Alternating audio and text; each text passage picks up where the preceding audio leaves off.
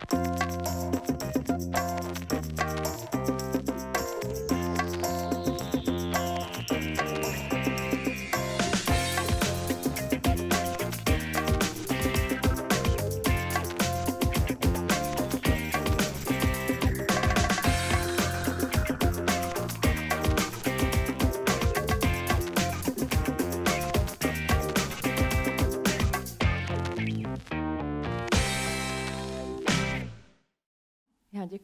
za uvedení. A uh, mám opravdu velkou radost, že tady dneska můžu být a mluvit právě na téma Incoast, protože Incoast uh, je mi hodně blízký téma. A to jednak proto, že se živím psaním, což znamená, že jednak uh, mě ten Incoast vlastně vydělává na živobytí, protože když píšu, ať už propiskou, tak vnímám Incoast, anebo když ty moje slova potom výjíždí uh, z té tiskárny, tak vlastně ty slova jsou taky vytvořený inkoustem. A stejně dlouhou dobu, jako se živým psaním, tak vlastně pracuji v tetovacím studiu Hell, který má taky uh, speciální způsob, jak nakládat s inkoustem. A oni vlastně dovedou tu věc, že uh, nám ten inkoust dovedou vtisknout do kůže. Těch způsobů, jakým lze propojovat kůži a inkoust, jakým lze inkoust vtiskávat do kůže, je strašná spousta. Určitě všichni znáte tetování, kdy se vlastně inkoust dostává pod kůži jehlou. Ostatně venku si to můžete sami vyzkoušet na citronech. A uh, dalším způsobem, jak můžeme dostat inkoust pod kůži, je, že se na kůži provede řez a do toho řezu se inkoust vpraví. Uh, potom existuje ještě jeden způsob, který je hodně poetický, a uh, to se vezme jehla a nit. Ta nit se namočí do tetovacího inkoustu a to tetování se vlastně do té kůže vyšívá. Uh, stejně jako je spousta způsobů, jakým je možný dát inkoust vpravit do kůže, tak v podstatě i inkoust má strašnou spoustu receptur, konkrétně teď myslím tetovací inkoust. Ta úplně nejstarší receptura inkoustu, ta pochází ze 6. století a tu zapsal římský lékař Etius. A ta receptura zní, potřebujete uh, spálenou březovou kůru, potom potřebujete bronz, ocet, žluč a úplně nejdůležitější věc, potřebujete šťávu spórku. Uh, kdybyste si chtěli doma vyrobit inkous, tohle je jedna z možností. Uh, co se týče těch ingrediencí inkoustu, tak samozřejmě, uh, protože tetování je velmi stará praktika, tak uh, ten materiál, z kterého se vyráběli, vyráběl tetovací inkoust, je přírodní, to znamená nejčastěji je to popel, saze, spálené věci. Mimochodem je poměrně zajímavé, co se s těma sazema dá dělat. Dneska se třeba dělá to, že uh, se smíchá tetovací ingoust s popelem vašeho drahého zemřelého a můžete se vlastně nechat okrášlit tímhletím způsobem, takže toho člověka vlastně máte pořád sebou, máte ho pořád pod kůží. A co se týče těch materiálů, ze kterých se ingoust vyrábí, poměrně velkou roli tam vždycky hrály různé tělesné tekutiny, které se do inkoustu přidávaly. Uh, je třeba zajímavý, že uh, Inuité věří, že krev, která vytéká z tetování, má léčivou moc. A tak uh, inuitský tatérky dělali to, že vlastně vylizovali krev přímo z té tetované rány, protože uh, je to bezvadný. Má, věřili, věřili, že vlastně uh, tahle ta krev má, má speciální léčivou moc. Uh, v současné době už ale máme poměrně sofistikovanější a hygieničtější způsoby, jakým uh, lze inkoust vyrábět. A je poměrně snadný si pořídit lahvičku inkoustu v, třeba v obchodu s tetovacíma potřebama. A každá tahle ta lahvička inkoustu vlastně v sobě skrývá úplně nekonečný potenciál, protože ten inkoust, který je v té lahvičce, se vlastně může stát úplně vším. Tam jsou vlastně schovaný v té jedné lahvičce slova, jsou tam schované obrázky, jsou tam schované symboly. Cokoliv si vzpomenete. A uh, já jsem chtěla vyzkoušet, jestli se v této lahvičce schovává i technologie. Jestli je vlastně možný pomocí inkoustu propojit tělo a technologii. A tuhle tu věc jsem vlastně ne, eh, nezvládla udělat sama. Potřebovala jsem na ní parťáky, který jsem našla právě v tetovacím studiu Hell. A uh, taky jsem potřebovala jako správná vědkyně objekt. A uh, já poprosím objekt. uh, to je můj kamarád Herich.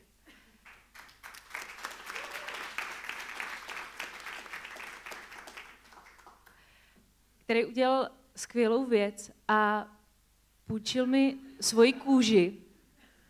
Řekl, že mi věří dostatečně na to, uh, aby to vyšlo. A to, co jsme vlastně společně udělali, je, že jsme na jeho tělo vytetovali QR kód. Uh, tenhle ten kód funguje. Sami si to můžete vyzkoušet. A uh, tohleto tetování vlastně specifický v tom, že má dvě části.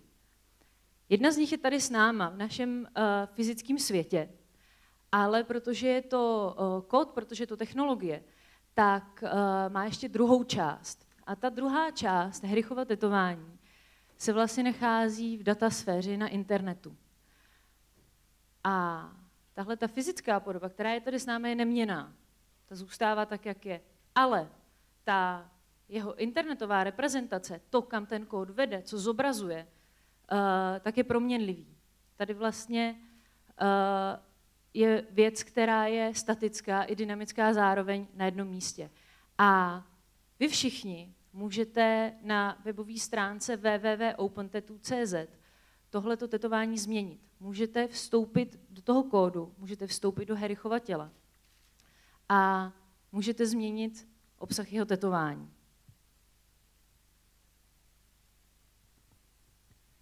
To, co my jsme vlastně udělali s tím Herichovým tělem, tak je, že jsme ho proměnili a z jeho těla jsme vytvořili věc, která se jmenuje wetware. Podobně jak máme software nebo hardware, tak ve chvíli, kdy se technologie propojí s něčím živým, tak vzniká wetware. To slovo wet evokuje to, že vlastně to tělo je mokrý. Což je rozdíl od té technologie, která je vlastně suchá a chladná a tělo, jak, jak funguje, jak žije, tak je vlhký a mokrý.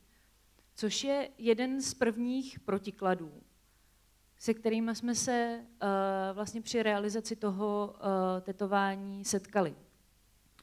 Dalším z těch protikladů, kdy se vlastně propojuje tělo a technologie, něco živého a neživého, tak uh, pro živou a neživou věc funguje úplně rozdílně čas. Uh, jak už jsem říkala, tak to tetování, tak jako Herich má vytetovaný, tak je neměný, tak zůstává, ale ta jeho reprezentace v té datasféře je proměnlivá a mění se. Nicméně z dlouhodobého pohledu času vlastně tělo stárne, tělo se mění a uh, potom umírá. Zatímco ta technologie vlastně v téhle svojí podobě zůstává neměná a je v podstatě věčná. Takže tady, se, tady jsme se setkali s dalším rozporem, nebo s, dalším, s další takovou dualitou, kterou Herich stělesňuje. A, uh,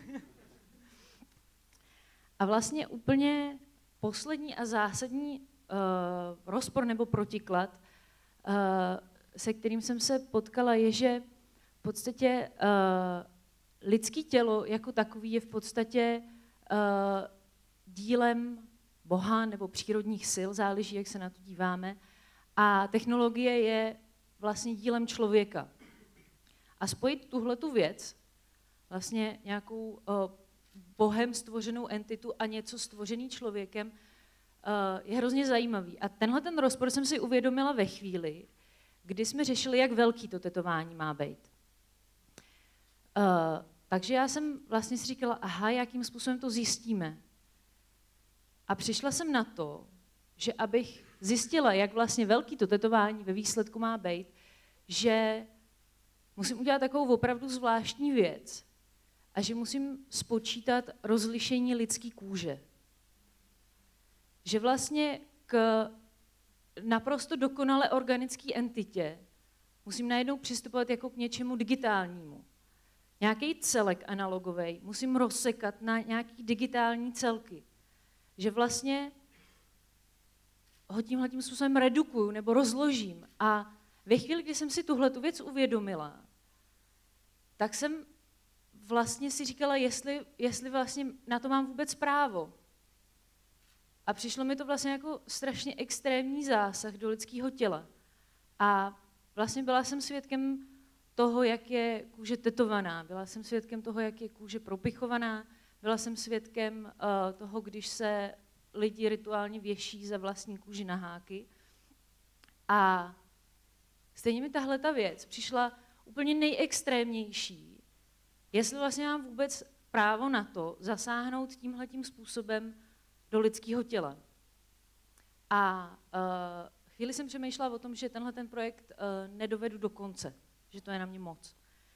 A uh, pak jsem si ale uvědomila, že vlastně tím, že propojím Herichovo tělo s technologií, že ho vlastně žádným způsobem neredukuju, nebo neponižuju, nebo nerozkládám, že vlastně jenom ty vlastnosti jeho těla ještě obohatím o nějakou uh, novou a další. A tak jsme to dotáhli do konce. Uh, to tetování jsme vytetovali na jaře v roce 2012, to znamená před třemi lety.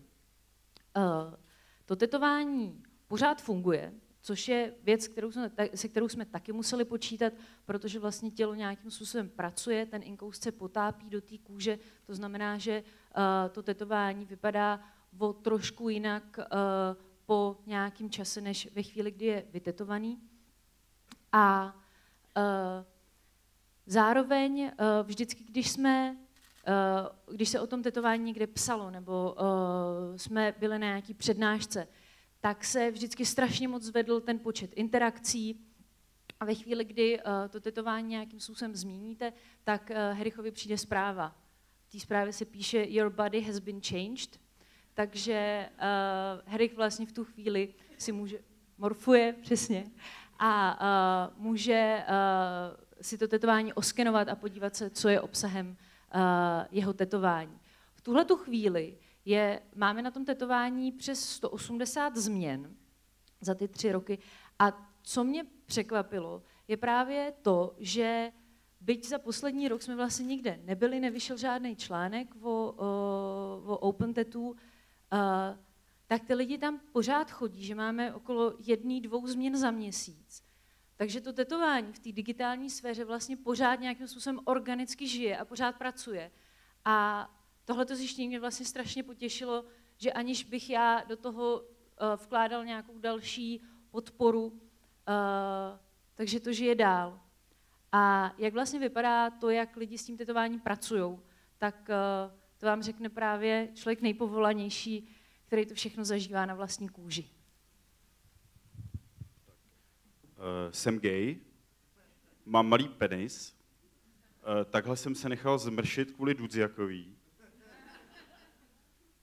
hledáme antropomorfní čubičku na hrádky a tak dál by se dalo charakterizovat obsah tetování, který nosím na svém těle. Kromě toho tam je ještě nějaký gerontogay porno a předpověď počasí.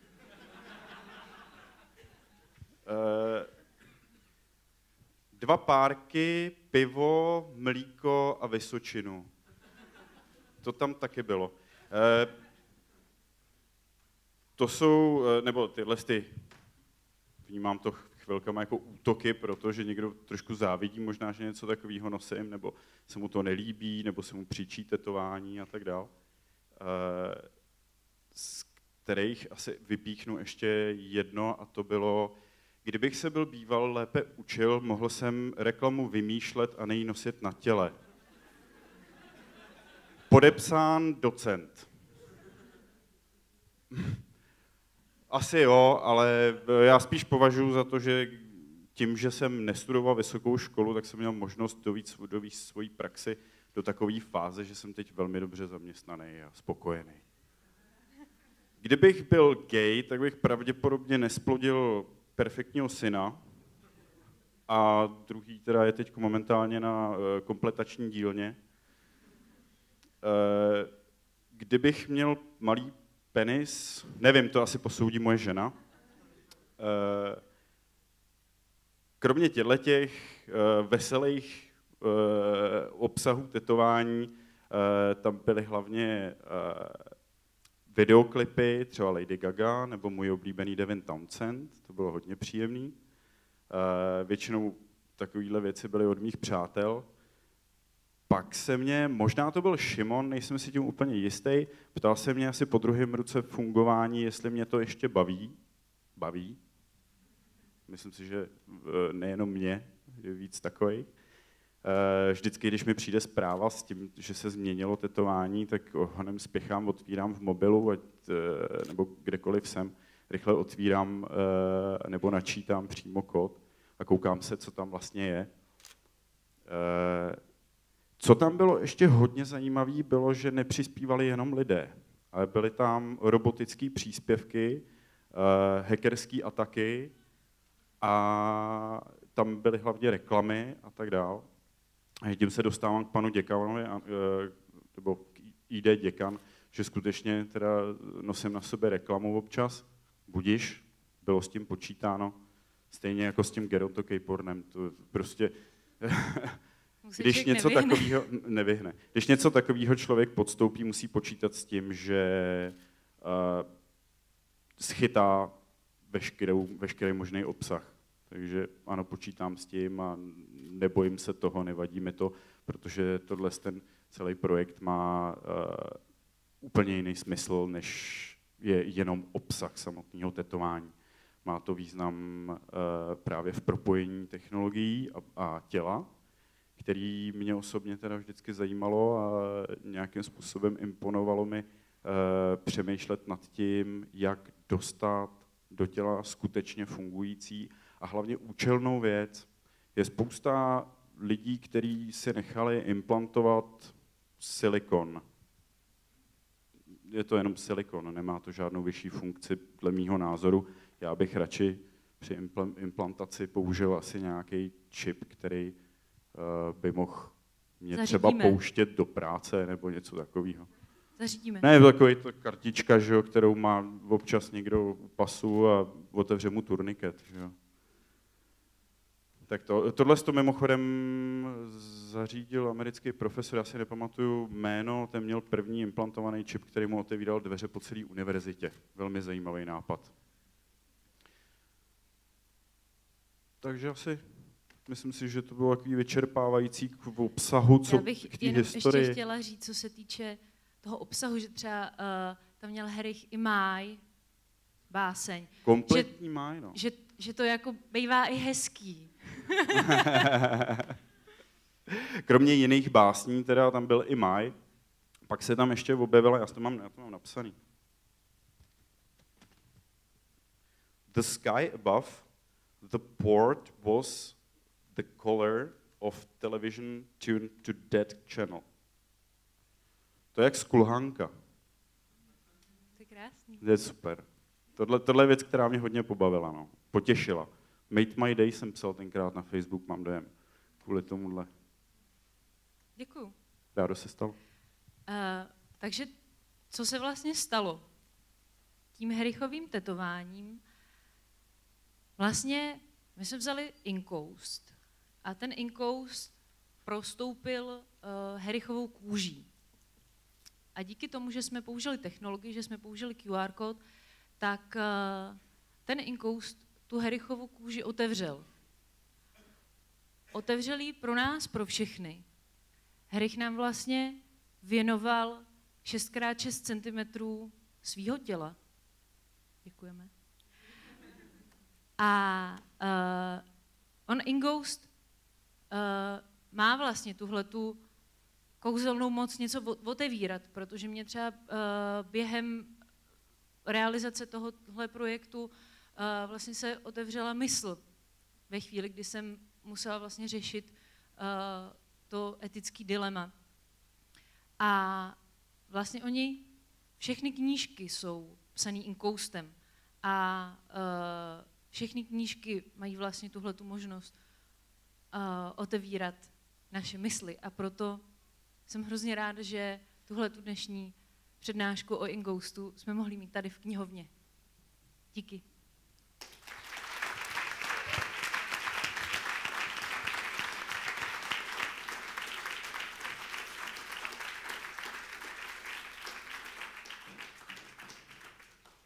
Bych chtěl dodat ještě jednu věc. Eh, to je mozzarella, rajčata, bazalka, bageta a bílý víno.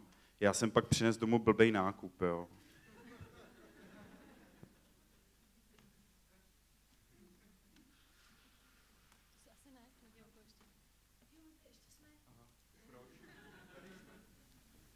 Ještě, já myslím, že ještě se vás možná někdo bude chtít na něco zeptat. Já se jenom zeptám takhle do publika. Kdo z vás má nějaký tetování, tak se přihlašte, ať máme přehled. Kdo na sebe něco má? Jo, dobrý. Kdo zkoušel, uh,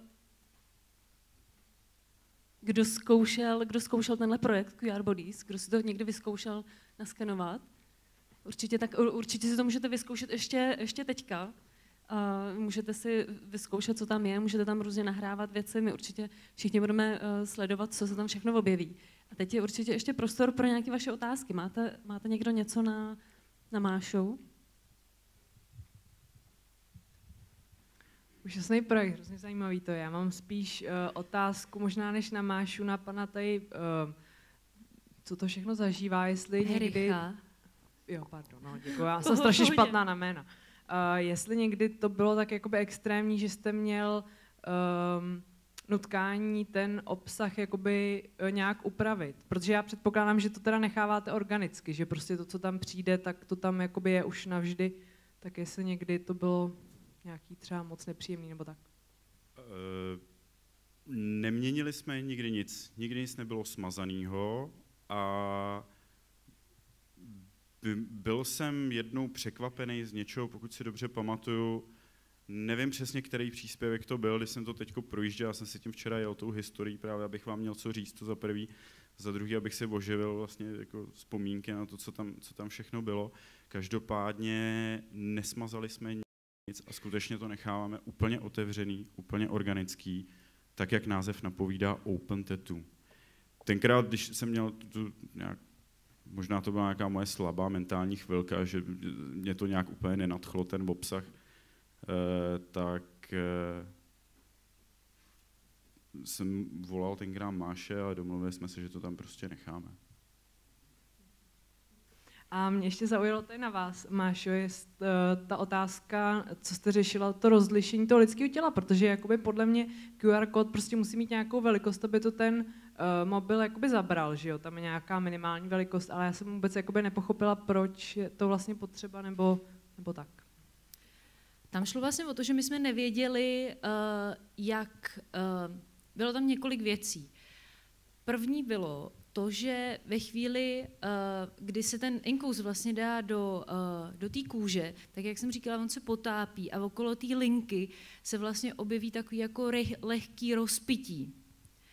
Což znamená, že ten uh, kód se vlastně jako o trošku zvětší, což to lidský oko nějak vlastně nevnímá, ale tím, jak to byl, jak, jak to čte stroj, tak jsme, potře- tak jsme věděli, že ten kód bude muset být hodně velký, že čím větší bude, tím to vlastně bude lepší a tím menší bude prostor pro naši chybu.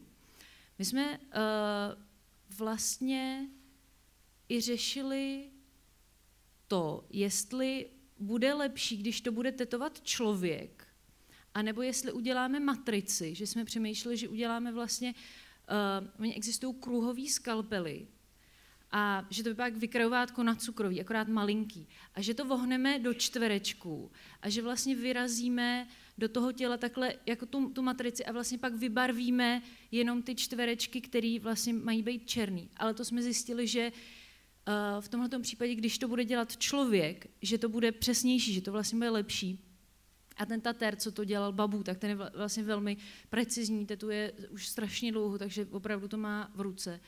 Ale co jsem ještě chtěla říct, je, že ty QR kódy mají tu, tu super schopnost toho, že jsou samoopravovací. Že vlastně, když vám třeba chybí kus toho po, kódu, nebo když ten kód je poškozený, tak vlastně uh, on je schopný se sám dopočítat. A v, uh, v tomhletom, u tohohle toho tetování je ten prostor pro tu chybu, kterou jsme mohli udělat 7%. Což je vlastně super, že tam něco je, ale uh, je to vlastně strašně málo, protože jsme viděli, že se to bude rozpíjet, že to bude tetovat člověk, který prostě tu, uh, ta, ta jako linka uh, prostě ne, nebude strojově rovná a zároveň, že ten uh, povrch je, je, je oblej, je, vlastně probíhá tam ten sval, takže je tam, takže je tam ta prohlubeň toho svalu. A uh, takže proto jsem vlastně, já jsem musela zjistit, jak malej může být jeden čtvereček, jakoby jeden pixel, na to, aby to fungovalo i s tím mírným rozpitím. A ve chvíli, kdy, se tam, kdy jsem začala řešit pixel, tak mi došlo, že na to musí mít úplně jinak, že to nejsou vlastně centimetry, co počítám.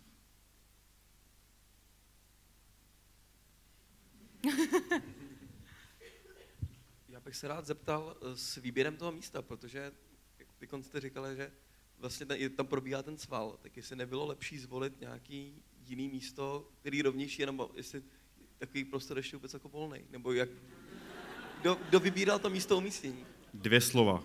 Ego masturbace a není jiný místo. Dobře, dvě fráze. jak to mám ještě? Ten můj přístup byl takový, že uh, jsme potřebovali co nejrovnější místo na těle. Uh, nabízí se záda, ale s těma má Herich jiný plány. Uh, nabízí se vlastně hrudník, s tím má Herich taky jiný plány. A uh, pak se nabízí nohy. Nicméně muži mají tu super uh, schopnost nebo vlastnost, že mají spoustu chlupů. A a uh, my jsme vlastně potřebovali, aby to místo bylo, uh, vlastně, aby na tom místě nebylo žádný ochlupení, nebo aby bylo minimální vlastně uh, ochlupení na tom místě.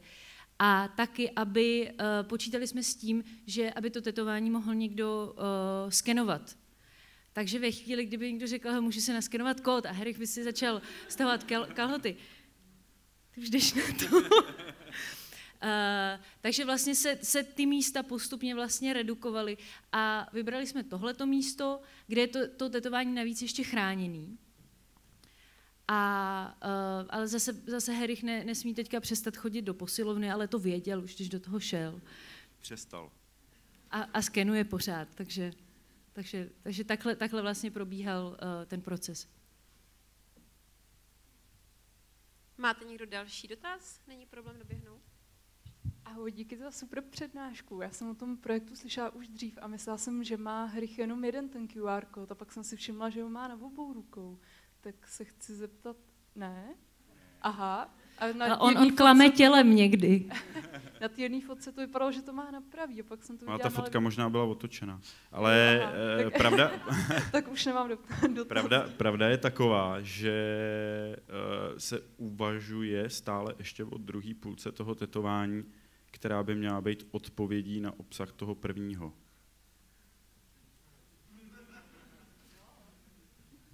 To znamená, že když někdo přispěje nějaký příspěvek, ať už jakýkoliv, tak já budu mít možnost na to reagovat.